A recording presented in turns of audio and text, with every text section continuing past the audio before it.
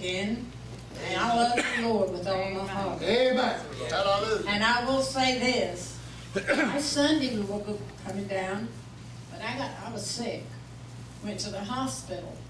But you know, God healed me. Glory. Glory. What they found in the x-rays and emergency room and all, I didn't tell my family until after I got out of the hospital. But they told me if I hadn't went to the emergency room when I did, I wouldn't be here today. All my organs was fixing to shut down. But you know, I serve a living God. And I still believe in the healing. Amen. Now, a lot of people said, no, that's back then, not now. No, God has healed me too many times. That's right. Come on. you know, God put me on the solid rock. Glory. My feet are planted on the solid rock, and nobody can move. That's right. You know, I've come too far. Yeah. Look back and go Yeah. back. Come on.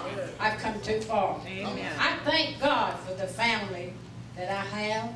Yeah. I'm proud of all of them. Yeah. And I'm so glad that I'm here in Florida with my family. Yes. Because after my husband passed away, I couldn't stay any longer.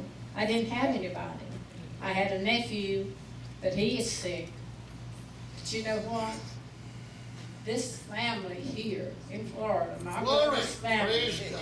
to me, they're more than just a niece Come on. and a nephew. Yeah. They're mine.